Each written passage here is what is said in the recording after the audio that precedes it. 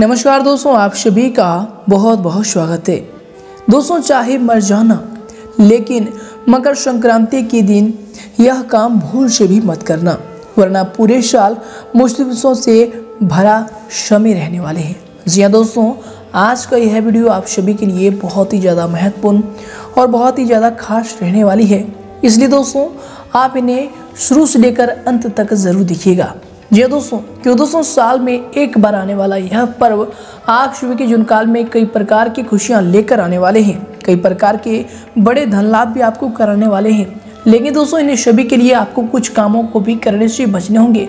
जी दोस्तों अगर आप इन कामों को करने से इसमें बचेंगे तो दोस्तों, आने वाला पूरा साल आप सभी के लिए खुशियों से भरा रहने वाले हैं, शानदार रहने वाले हैं। तो दोस्तों, वीडियो को अंत तक ज़रूर देखिएगा। ये दोस्तों, ये हमारा आप सभी से निवेदन है क्योंकि दोस्तों, इस वीडियो में आपको सभी महत्वपूर्ण जानकारी मिलेंगी कि मकर संक्रांति के महापर्व पर आपको कौन से उपाय को करना चाहिए कौन से को काम को करने से बचने चाहिए, साथ ही ग्रहों का जो शुभ प्रभाव इसमें बनने वाले हैं, जो ग्रहों की शुभ स्थिति बनने वाली है, शुभ योग का जो निर्माण होने वाले हैं, आप सभी के जुन काल में क्या क्या बदलाव करेंगे, इन्हें सभी की विशेष जानकारी मिलने वाली है।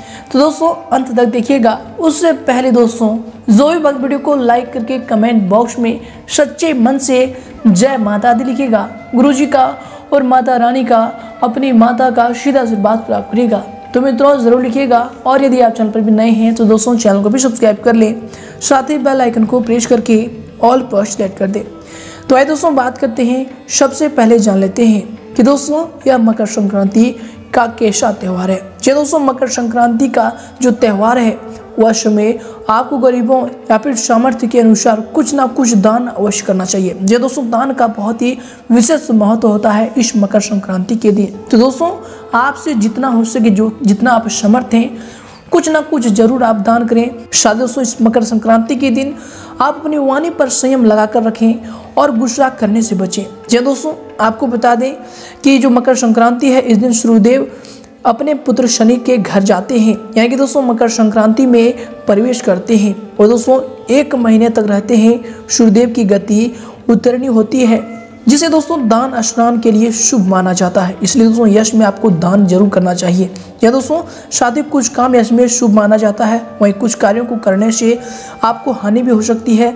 जैसे कि दोस्तों, मकर संक्रांति के दिन स्नान करने से पहले आपको कुछ भी खाना नहीं खाना चाहिए। या दोस्तों दोस्तों, अगर आपने जाने अनजाने में खा भी लिए हैं तो दोस्तों, यश में भगवान सूर्यदेव और शनिदेव से आपको मन से क्षमा मांगना चाहिए। यश में दोस्तों, भगवान सूर्यदेव और शनिदेव आपको क्षमा भी कर देंगे।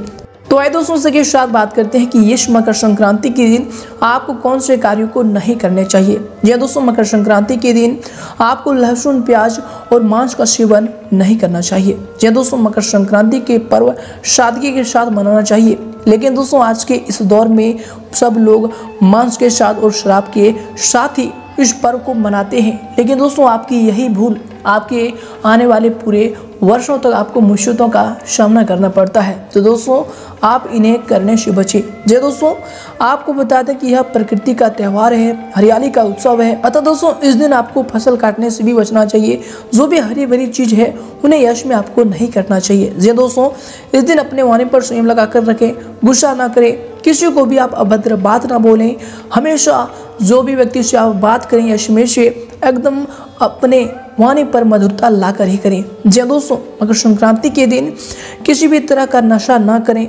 शराब, सिगरेट, गुटखा आदि चीज़ें जो भी आप सेवन करते हैं, इनसे आप बचें। जी हाँ दोस्तों, इस बार मसालेदार भोजन का भी आपको सेवन यश में नहीं करना चाहिए।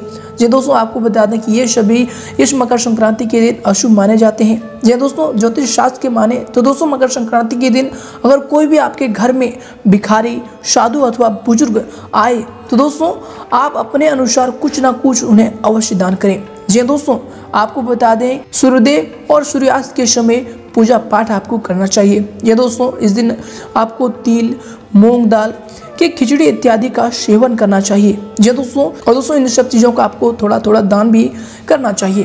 ये दोस्तों, मकर संक्रांति के दिन काले तिल का दान विशेष महत्व रहता है। ये दोस्तों, ऐसा करने से शनिदेव और सूर्यदेव प्रसन्न होते हैं। तो दोस्तों, अगर आपसे कोई गलती हुई है तो दोस्तों, आप यश में इन का दान ज़रूर करें। आपकी जो कल में हमेशा खुशहाली छाई रहेगी। तो दोस्तों, इन गलतियों को आप इस मकर संक्रांति के दिन नहीं करना चाहिए। तो आए दोस्तों, यश में जो ग्रहों की शुभ स्थिति है, जो शुभ योग का निर्माण है, आप शुभ के जुन काल में क्या क्या बदलाव करने वाले हैं? चलिए दोस्तों, इसके बारे में भी बात करते हैं। दोस्तों, आपका अपने व्यक्तित्व और फिर रहन सहन के प्रति अधिक सजग रहना मित्रों और फिर सहयोगियों के बीच आकर्षण का कारण बनेगा। समाज में भी आपकी छवि और अधिक निखरेगी। दोस्तों, जीवन के प्रति सकारात्मक दृष्टिकोण आपको मानसिक रूप से और शारीरिक रूप से, दोनों रूप से स्वस्थ रखेगा।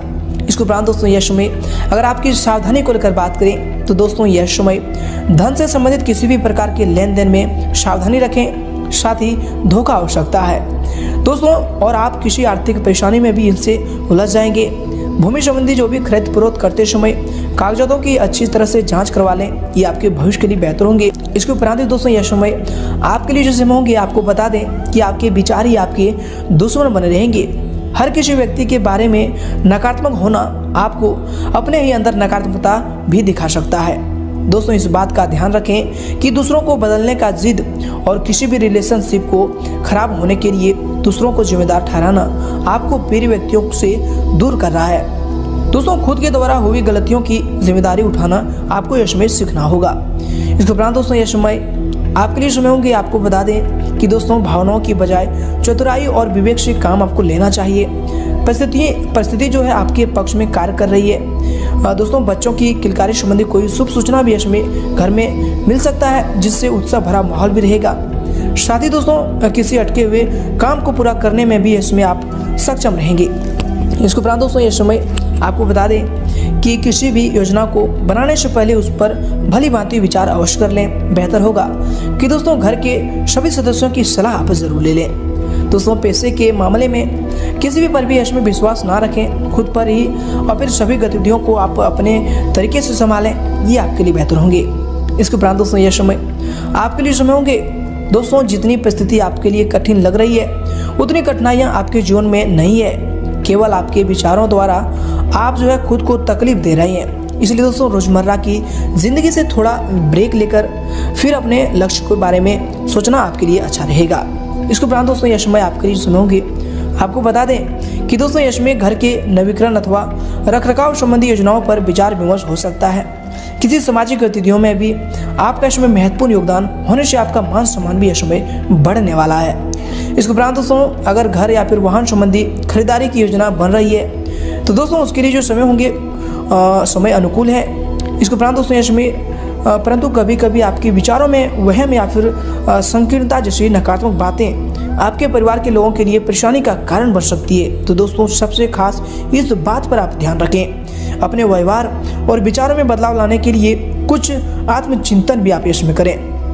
इसके उपरांत दोस्तों यह समय आपके समय होंगे, आपको बता दें कि दोस्तों, आपको अपनी गलती सुधारने का अवसर भी इसमें प्राप्त होगा। इसलिए दोस्तों, अपने द्वारा हुए कामों को, जो भी गलत काम थे आपके यश में, उन्हें ठीक करने की आप कोशिश करते रहे।